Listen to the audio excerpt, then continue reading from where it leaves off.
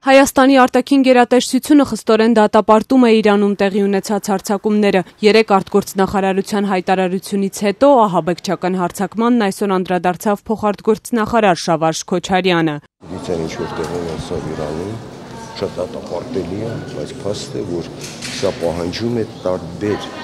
ուժերի եւ առաջին հերթին գերտերությունների համագործակցություն։ Իրանում տեղի ունեցած ահաբեկչական հարձակումները վկայակոչելով փոխարտգործնախարարը նշում է, որ այսօր որևէ երկիր ապահովագրված չէ նման վտանգից, ավելացնելով սակայն, որ միևնույն ժամանակ ասել թե Կատարն է ահաբեկչական երկիր սխալ կլինի։ Հիշեցնենք անցյալ շաբաթ Հայաստանը վերացրեց մուտքի արտոնագիրը Կատարի քաղաքացիների համար, ինչին հաջորդեց արաբական այդ երկրի շուրջ ցակած դիվանագիտական ճգնաժամը, երբ երեքշաբթի օրը միանգամից 7 արաբական պետություններ հայտարարեցին Կատարի հետ հարաբերությունները խզելու մասին, պնդելով թե այդ երկիրն աջակցում է ահաբեկիչներին եւ ծայրահեղ իսլամիստներին։ Իրականում մեր, այսպես ասած, գիծը կապված ընդհանուր առմամբ զբոսաշրջության հետ, խթանման հետ ինքը շարունակվելու է։ Կատարը, Կատարը ընդհանրապես պետություններից մեկն է,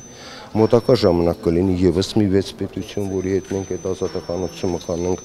Մենք նաեւ պետք է հաշվի առնենք, որ տարածաշրջանում, ասենք նույն Վրաստանը, շատ ավելի մեծ թվով երկրների համար ազատականացում է իրականացրել եւ բնական է որ դա բերել է նրան որ զբոսաշրջությունը նաեւ այդ պատճառով այնտեղ ավել է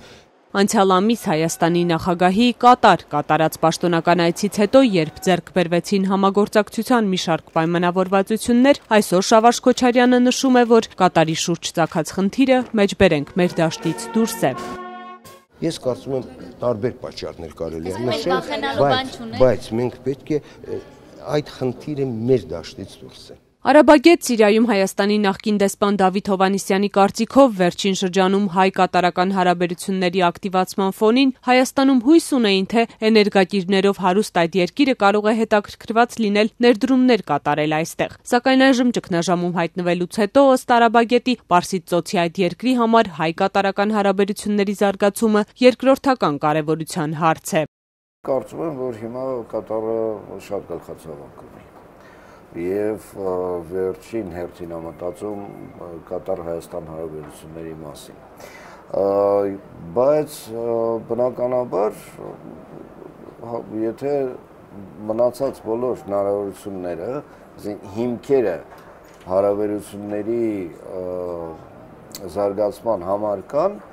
ապա դրանք կզարգանան, բայց նորմալ իրավիճակում ԱՄՆ-ի նախագահ Դոնալդ Թրամփի այդ Սաուդյան Արաբիա, Կատարի դեմ արաբական երկրների կտրուկ գործողություններ, ապա ահաբեկչություն Իրանում։ Սիրիայում Հայաստանի նախկին դեսպան Հովանիսյանի կարծիքով այս իրադարձությունների միջև նկատելի կապ կա։ Ըստ նրա ԱՄՆ-ի նախագահ Դոնալդ Թրամփը փորձում է հիմքեր ստեղծել 2015-ին Իրանի հետ կնքված միջուկային համաձայնագիրը վերանայելու համար։ Ծոցի երկրները Իրանի հետ ինչ որ մի բախման մեջ մտնեն այսին պրոքսի պատերազմ, այսպես կոչված կամ պերիֆերիկ, այն ժամանակ սարը պատերազմի ժամանակ դրան համարում են պերիֆերիկ, հա։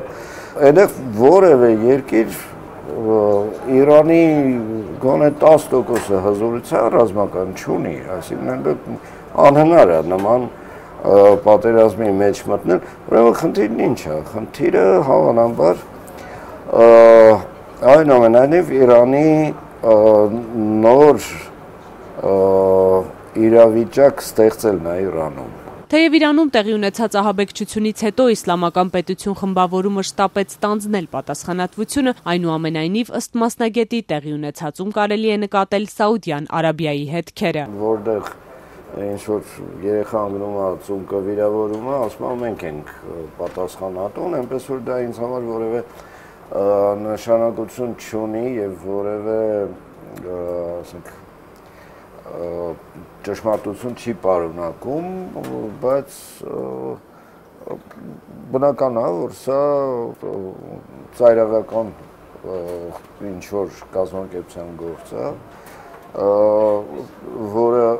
ում թելադրանքով աշխատել, դա էլ ինձ համար ակնհայտ է, Սաուդական Արաբիա, այսպես ասած, հետքերը